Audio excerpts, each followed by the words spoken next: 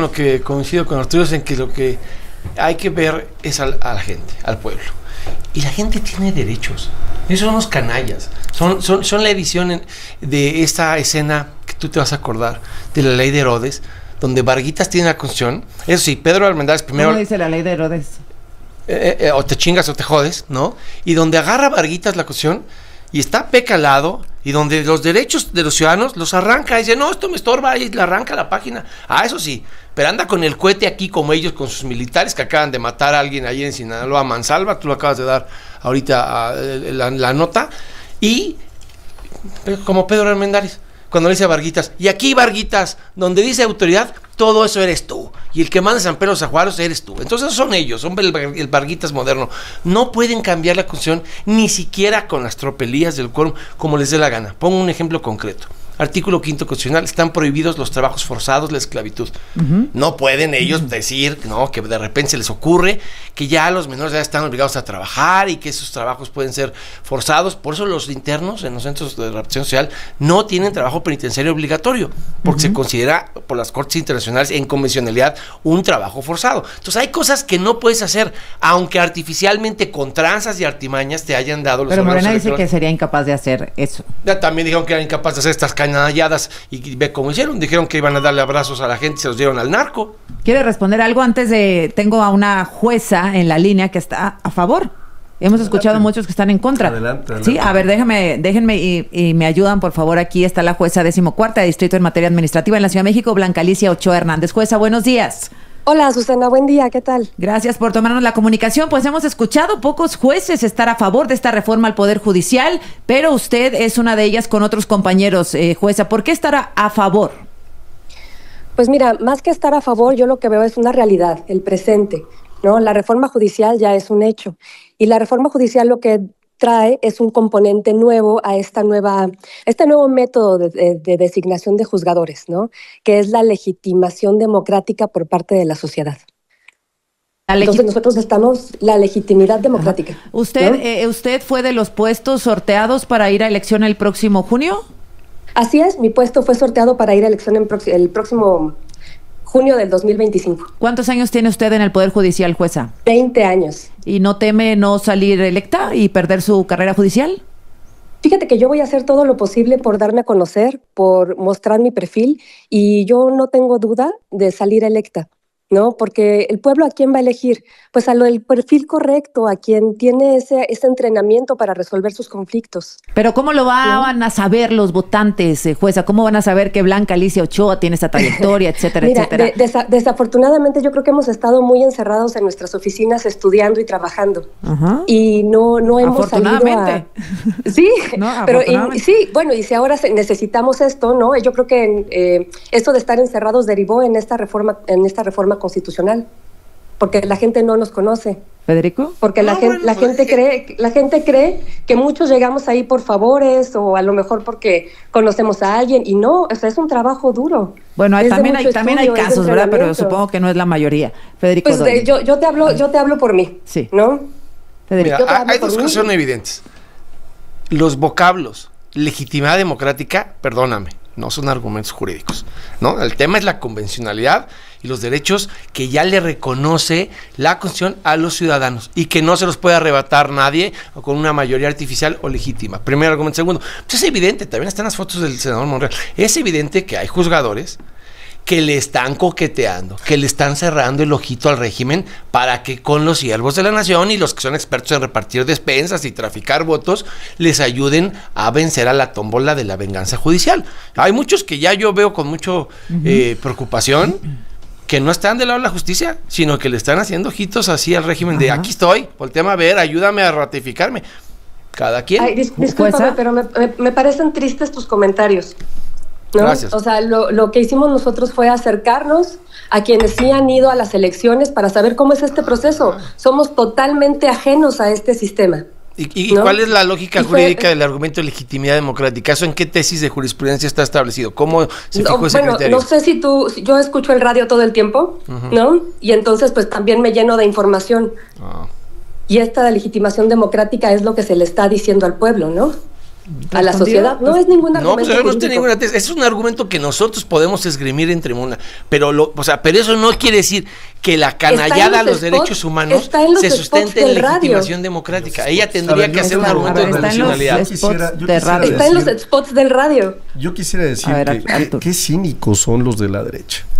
Porque eh, hoy que claramente, y hay ejemplos mundiales, en donde cuando la derecha deja de tener el respaldo popular, ¿qué es lo que les pasó? Hoy son, de veras, no los quiere el pueblo de México, o hay una pequeña minoría ahí que los quiere, lo que hacen es se enquistan en los poderes judiciales. ¿no? ¿Qué está en juego realmente? O sea, ¿qué hay atrás de todo esto? Pues atrás de todo esto está todo este sistema de corrupción, todo este sistema que generaron de cabilderos, ¿no? Sobre todo en Acción Nacional, ¿eh? este, donde había favores de carácter jurídico. Perdón, los que se pusieron a hacer política, sobre todo en este sexenio, fueron los ministros.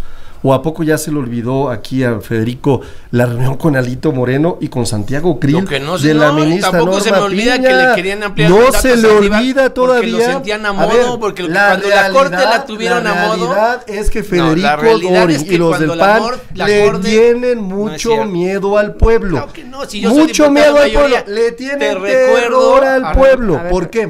¿Por qué? Falso. Porque hoy, fíjate, todos los requisitos, licenciatura en Derecho, promedio mínimo de 8 en la carrera y de 9 en materias relacionadas. Experiencia mínima de 5 años. Elaboración de ensayos sobre temas afines. Evaluación por parte del comité de evaluación presentar cinco cartas de referencia, participar en un proceso de insaculación y sí, obtener un triunfo en una elección. A, mí sí me gustaría en Aguascalientes saber quién es mi juez en materia administrativa penal para saber si es una persona que tiene buena, buena eh, fama o mala fama. a ellos no, porque ¿sabes cómo era antes? Era a través de favores. Me quedan 10 segundos, regreso con los consideras personal. Nada más una precisión cándida. Yo no le tengo miedo a la gente. Yo he ganado siete veces campañas de mayoría, siete, y soy el diputado federal más votado de todo el país. No sé cuántas veces haya ganado Arturo candidaturas y campañas en Aguascalientes. Eh, ¿Quieres responder? No, es mucha vanidad la que tienen ellos. La verdad es que yo creo que eso es lo que los tiene en el basurero de la historia. Fíjate la vanidad con la que le hablan a la gente. Yo, yo, yo, yo. Se acabó el tiempo del yo es el momento de la gente, es el momento del pueblo. Jueza Blanca Alicia Ochoa, de lo que ha escuchado en esta mesa, me gustaría si quiere poner algún tema de, en esta conversación? Pues eso, o sea, necesitamos de su orientación, ¿no? Si han ganado tantas veces por elección popular, pues sí necesitamos muchos tips. El ministro Javier Laine nos decía hace un momentito que iba a ser sumamente complicado homologar la forma de selección de candidatos y candidatas para, pues para esta elección, eh, jueza. Pues yo entiendo que esos son los requisitos mínimos, ¿no? O sea, un 8 de calificación, unas cartas de recomendación de tus vecinos y demás.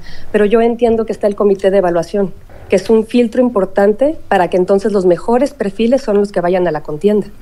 Eh, hay compañeros suyos que se están manifestando absolutamente en contra de esta reforma. Jueza, ¿qué, les diría? ¿Están eh, equivocados? Es una decisión muy personal. Yo lo que veo es que no hay que tener miedo, ¿no? Tenemos una sólida preparación, experiencia, trayectoria, y entonces no tendría por qué em, ponernos en duda nuestra capacidad el competir con personas que a lo mejor son inexpertos y que tienen cartas de recomendación, ocho de promedio y demás. O sea, nuestra trayectoria nos, nos respalda. ¿Será posible que los ciudadanos, esa es una parte de la preocupación, ¿no? Que, veamos tantos currículos? Eso no va a pasar, te voy a decir que va a volver a pasar las trampas que viste en los últimos cuatro consejeros que integraron el INE, donde gracias al valor civil de Maita Suela supimos cómo traficaron, les filtraron las preguntas, porque curiosamente las evaluaciones, recordemos, Suena, no correspondían con las intervenciones, porque pudimos ver la exposición de la hermana de la presidenta nacional de Morena, la de la propia Tadei, pudimos ver que habían tenido un pésimo desempeño en las entrevistas, pero que habían salido muy bien evaluadas. ¿Por qué? Pues porque algunos de los que estaban en ese comité de evaluación que había impuesto Morena desde la Jocopo, reventaron toda posibilidad de unas quintetas decentes. Por eso se fueron a la tómbola. Por eso ellos reventaron la votación calificada, porque toda la tómbola era de Morena, que es lo que pretenden ahora. Yo apuesto aquí y veamos y veamos los nombres de los jueces y magistrados que están guiñándole al régimen para ver si casuísticamente ellos y ellas sí quedan en la tómbola de las cucopos de Morena y dejan a la sociedad capaz fuera de esa tómbola. ¿Tú supones, Federico, que la jueza Blanca Alicia Ochoa podría aparecer? No, yo no supongo de ella nada, le, respeto como persona humana, pero sostengo que los canallas de Morena, y aquí voy a estar para sostener mi dicho cuando se hayan resuelto esos eh, eh, listados, vas a ver que no van a dejar pasar ni el aire ¿no? Van a ser puros nombres como tómbolas de Morena, y entonces insacular entre jueces y magistrados que van a imponer con estas mayorías artificiales, pues es un atraco, es un atraco a la democracia. Van a elegir Arturo. Una, sí, una precisión, nosotros ya tenemos un pase directo. O sea, nosotros no vamos a, pasar por estos comités de evaluación. Ah, ¿No pasan por el comité? los jueces que están en activo Nosotros tenemos pase directo. Así es. y, es un dato, y es un dato interesante porque incluso la ministra Norma Piña podría ir directo a una boleta, digo, para mencionarlo, ¿no? Y con, eh, me queda claro que seguramente, ¿no? Con la simpatía que ha generado de eh, Acción Nacional, que han sido promotor eh, incansable de la ministra, pues a lo mejor tiene posibilidades, ¿no? Pero déjame decirte algo que me parece importante, decirlo y dejarlo aquí bien claro. Una cosa se dice aquí en la mesa y otra cosa sucede en la realidad. Decía Federico, es que los comités de evaluación los van a integrar gente de ustedes.